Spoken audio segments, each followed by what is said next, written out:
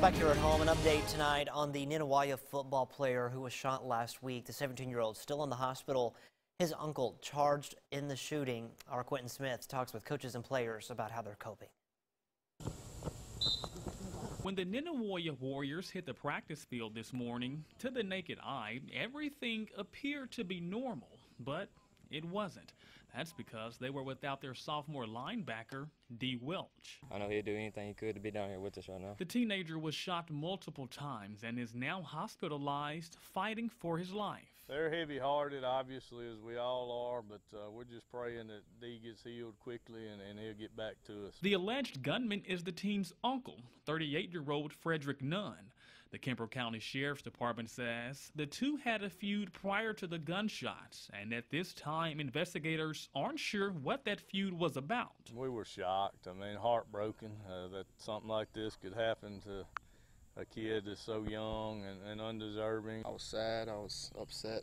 Uh, I was camping. I couldn't even enjoy it. I was so sad. It's one of my best friends. Coaches and teammates describe Welch as a spark plug, someone who was always full of energy. He'd always make you laugh, even whenever it sucks. It's 90 degrees, you're hot as can be. He don't get tired, just running around, has so much energy. He never had bad days. He always worked hard, and he was never down. He played really hard, played the way you want kids to play, and, and he did it with a smile on his face. The team ended practice by taking a knee putting their arms around one another and praying for a successful recovery for Welch. The football team prides itself on being a family.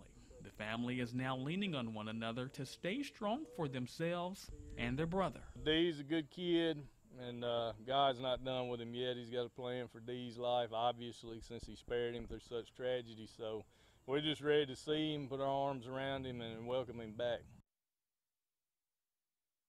That was our Quentin Smith reporting. Now, at this time, it's unknown when Welch will be released from the hospital. Nunn has been charged with aggravated assault. He's currently behind bars on a $75,000 bond. All right, we're going to send